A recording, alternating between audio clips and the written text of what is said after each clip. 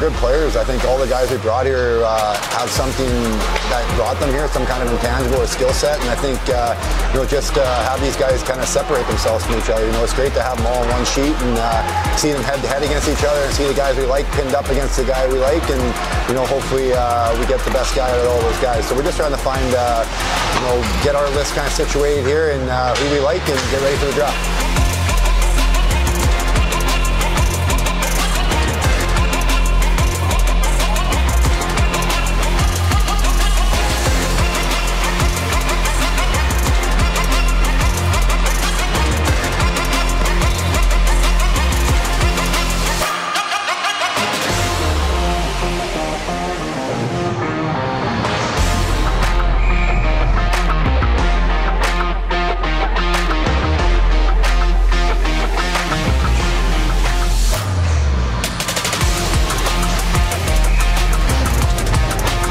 It was an awesome weekend of hockey. We had uh, we had a ton of fun watching some great hockey in all different types of events, whether they were small area games, position specific skill sessions, five on five, three on three tourney.